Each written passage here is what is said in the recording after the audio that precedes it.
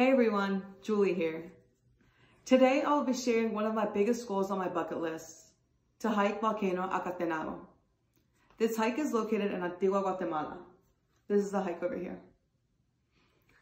This experience should push me out of my comfort zone and will teach me more about myself and what I can handle in extreme conditions. Not only do you get the rewarding view of Volcano Acatenango, but also the stunning views of Volcano Agua and Volcano Fuego.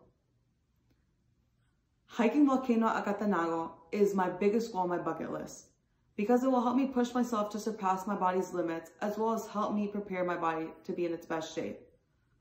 It will grow my mental strength and why the experience will be so rewarding. Today in my speech, I will talk to you about my biggest goal on my bucket list and why I feel this hike will push my boundaries and help me work towards my fitness goals, mental strength, and explain why this experience will be so rewarding in the end. Everyone needs to know the limits and what their body can handle.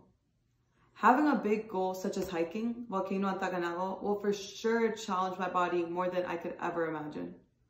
How do I prepare though? I will stay consistent in my workout routine and make sure I do plenty of incline walking. I will strengthen my legs and make sure I will be able to handle a 13,040 foot climb. My body will endure pain and aches like never before. I will need to also practice breathing techniques and make sure I, I, get into the habit of being properly hydrated as altitude sickness will be a threat during this trip. Now that I've discussed why hiking the, the summit will push my body and help me get in shape, I will now discuss how it will strengthen my mental state. While strengthening your physical state is key, you, mu you must also mentally prepare yourself for such a hike. Once I will begin my hike, I need to tell myself there is no turning back and it's literally uphill from there. Saying I can't and I want to stop cannot be a part of my vocabulary. The months prior to my hike, I need to push myself to where can't isn't an option. Professional hiker and co-author of Pacific Crest Trails, Zach Davis, stated on April 8, 2016, quote, I trained my brain.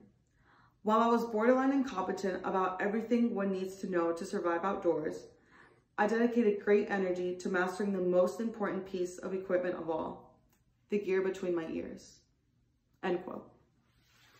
Mentally, this will prepare me for the seven hour adventure since we have discussed how I need to prepare myself mentally for this hike, I will now discuss why completing this mission will be so rewarding.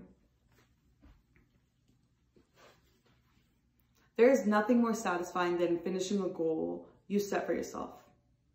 Hiking Volcano Acatenango not only will be such a huge accomplishment, but also so rewarding. Those who have experienced this climb before have said the sunrise is like no other, considering you are above the clouds. Another experience I've always wanted to witness is an active volcano, and to be able to wake up next to one is not something people get to do very often. I can't wait to document this adventure and soak it all in that I had a goal, I set it out, and completed it. All in all, there are many reasons to complete your bucket list goal, and nothing is sweeter than a beautiful view that says you did it. In conclusion, hiking Volcano Acatenango is my biggest goal on my bucket list. I will push my body's limits and get in the best shape I will ever be in. I will strengthen my mental state and I will be awarded with the stunning views that will stay with me forever. The biggest takeaway from my monumental hike will be that after this expedition, no problem will be too hard or too big, considering I just overcame the biggest hurdle I will ever cross, Volcano Acatenango. Thank you for listening to my bucket list. I hope you all accomplish whatever goals you set yourself. And remember to always say, I can, not I can't.